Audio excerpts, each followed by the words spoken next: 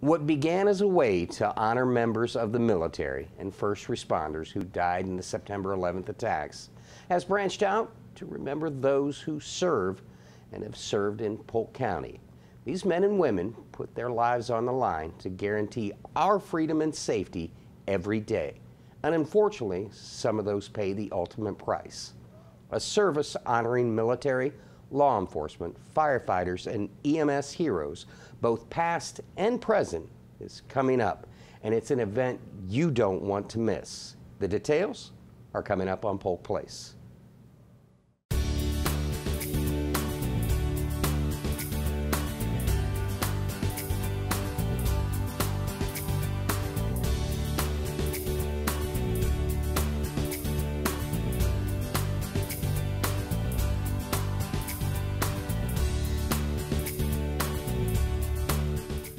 Welcome to Polk Place. I'm your host, Brian Lacey, and joining me in studio is Jamie Brown. Jamie's with the Winter Haven Police Department. She's a public information officer and a good friend to the show. How are you doing? I'm doing well. How are you? Uh, doing great. Good. Uh, as we heard in the intro, um, this has been going on for a few years now. Mm-hmm. Talk to me a little bit about the event. How did it get its start?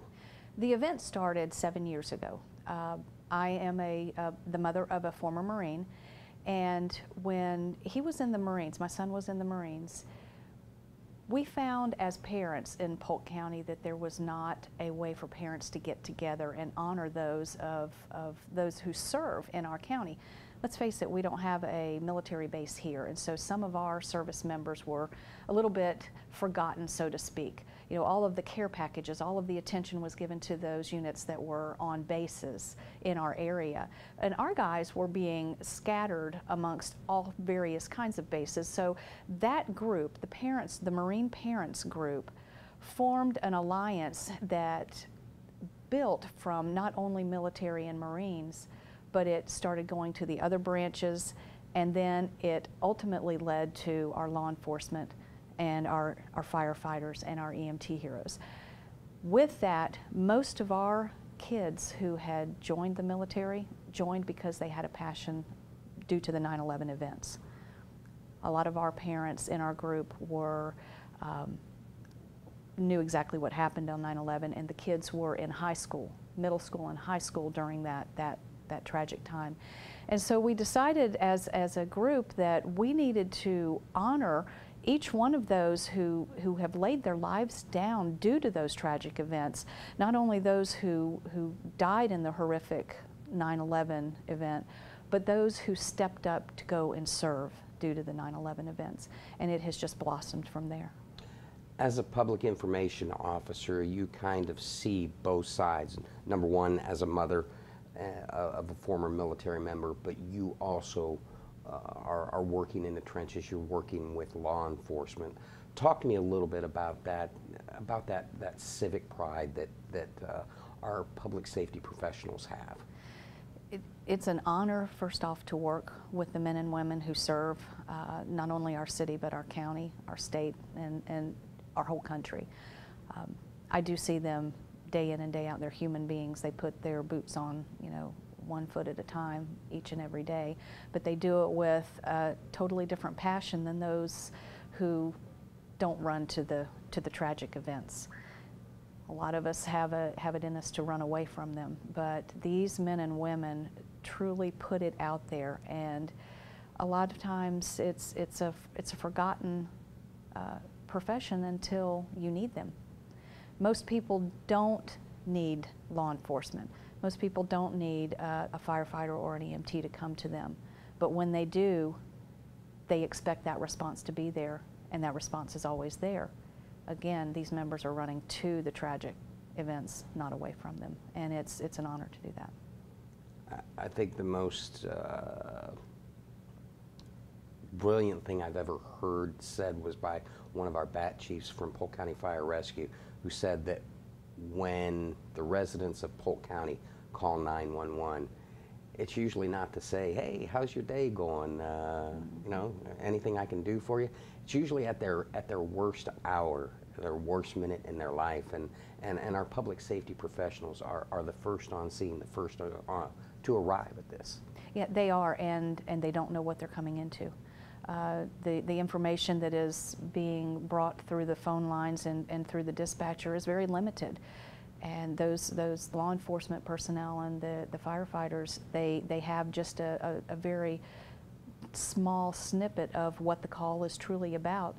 And once they get there, it could be totally different. It could be uh, a lot more calm, but it can also be a lot worse. And uh, they don't know call to call what they're truly going to. There is no such thing as a normal or typical call.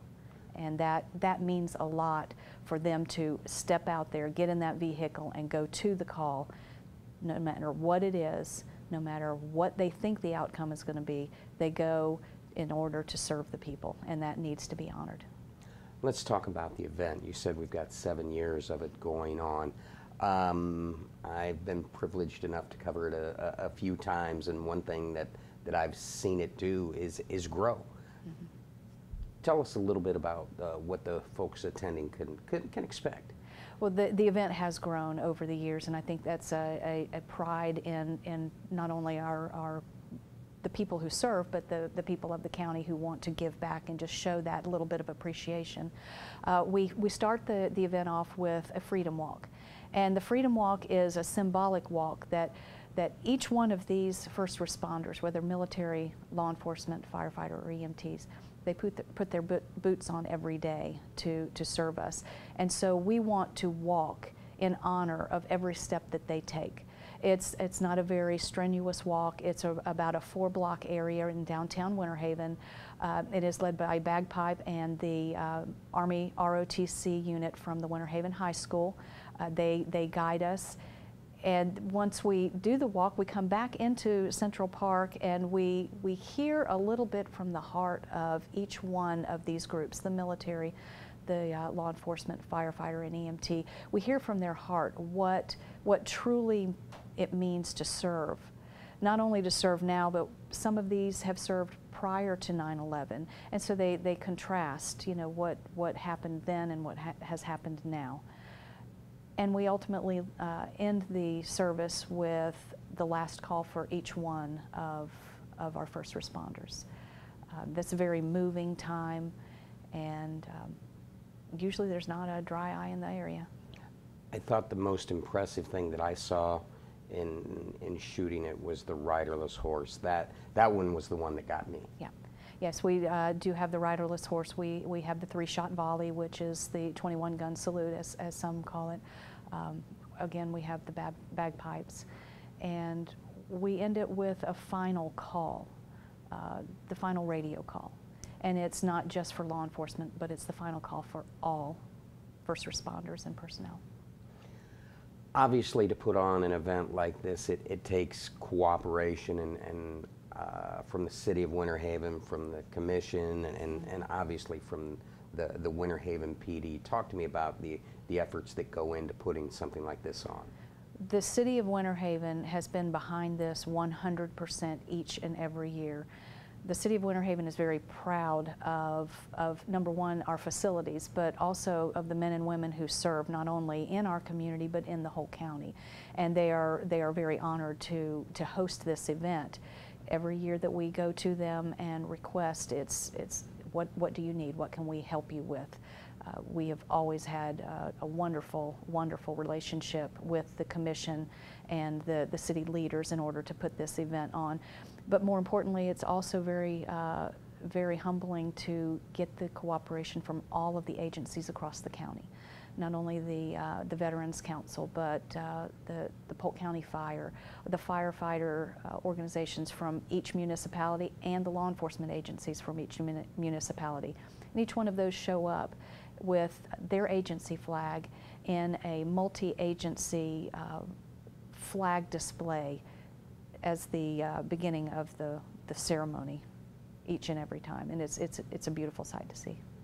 As with an event like this, are there sponsorship opportunities, volunteer opportunities? There are volunteer opportunities. There, we don't have sponsorships because this is not something to raise money. We're, Mhm. we're not out there to raise any kind of funds for anybody.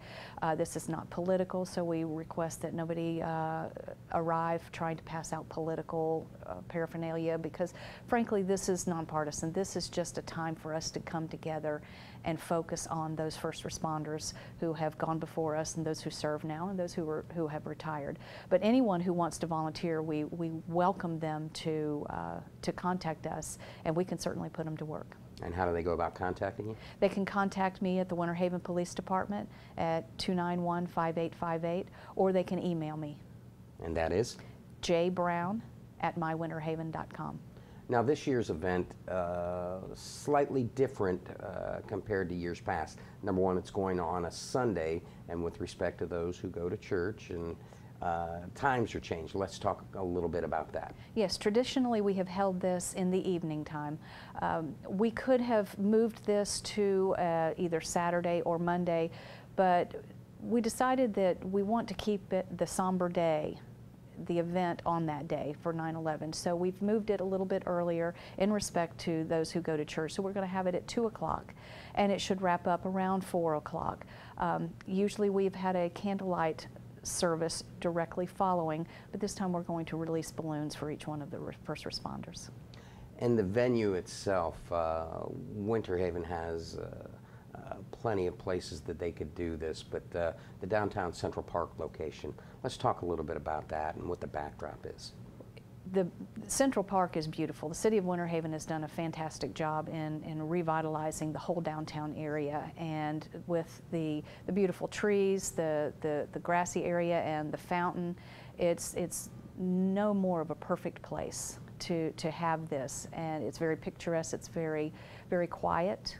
Um, even, even on the evenings that we've held this with, with the, the businesses in the area, it just draws people and there's just a, a calming peace in that, in that park. And I couldn't choose a, a I couldn't ask for a better place to have this.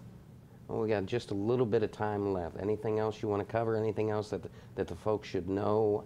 In, inspire them to, to get off their couches and, and come out and, and enjoy this, uh, this event and, and think about the, the folks that uh, have served them in the military and, of course, their public servants. One of our, our deepest desires with this event is to make sure that our young children do not forget the sacrifices that have been made. Many of our elementary, middle school, and high schoolers weren't around or they were very small when 9 11 occurred. And we don't want to forget. We don't want to forget what happened that, that horrific day. We're not trying to relive it, we're trying to honor and, and ultimately give our, our young people the opportunity to see exactly what occurred on our soil and make them aware that there are men and women that are still walking here today that were either at the site or they chose to serve due to that event. We have a lot of Boy Scout and young church groups that, that attend the event and it's, it's a way for us to give the families an opportunity to show our kids what happened, but why we need to make it important to honor all of the first responders and everything they do. And frankly, with, with everything that continues to happen day to day, even right now, it's, it's important for our young people to see that our first responders are there to help them, they're their friends, and they're there to be honored. Jamie, as usual, always a pleasure uh, having you in studio, and, and any time that we here at Polk Place can, can help you promote anything, you're always welcome in that chair. Thank you. I appreciate that. And uh, I invite you to join the community for the seventh annual Honoring Our Heroes, Remembering the Day. The Polk County Veterans Council, along with Polk County Fire Rescue, law enforcement agencies, they're coordinating an event to mark the 15th anniversary of the September 11th tragedy that honors all Polk County first responders and pays tribute to those who lost their lives in that fateful day. Honoring Our Heroes, Remembering the Day, takes place Sunday, September 11th at Central Park in downtown Winter Haven. The event begins at 2 p.m. and features the Freedom Walk to honor all military, law enforcement, firefighters, and EMS heroes, which is followed by the service that will pay tribute to all heroes who call Polk County home. Now, for more information, you can email Jamie Brown at jbrown at mywinterhaven.com or check the event out on the web at www.winterhavenpd.com.